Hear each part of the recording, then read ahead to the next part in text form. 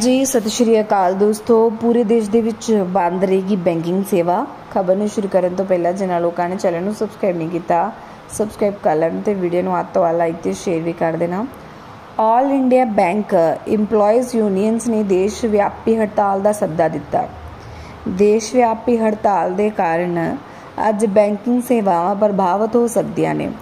All Indian bank EMPLOYEES unions ਨੇ ਅੱਜ 28 ਅਗਸਤ ਨੂੰ ਦੇਸ਼ ਵਿਆਪੀ ਹੜਤਾਲ ਦਾ ਸੱਦਾ ਦਿੱਤਾ ਅਤੇ 29 ਨੂੰ ਵੀ ਜਾਰੀ ਰਹੇਗਾ।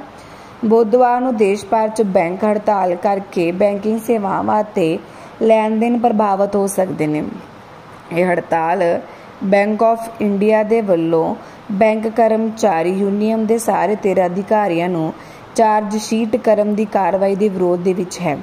All India Bank EMPLOYEES association ਦੇ ਜਨਰਲ ਸਕੱਤਰੇਤ ਸੀਐਚ ਵੈਕਟਲਿਜ਼ਮ ਨੇ ਮੀਡੀਆ ਨੂੰ ਬੈਂਕ ਹੜਤਾਲ ਬਾਰੇ ਜਾਣਕਾਰੀ ਦਿੱਤੀ ਅਤੇ ਯੂਨੀਅਨ ਦੀ ਇੱਕ ਪ੍ਰੈਸ ਰਿਲੀਜ਼ ਸਾਂਝੀ ਕੀਤੀ। ਬਾਕੀ ਤੁਹਾਡੇ ਕੀ ਵਿਚਾਰ ਨੇ ਤੇ ਖਬਰ ਨੂੰ ਅੰਤ ਤੱਕ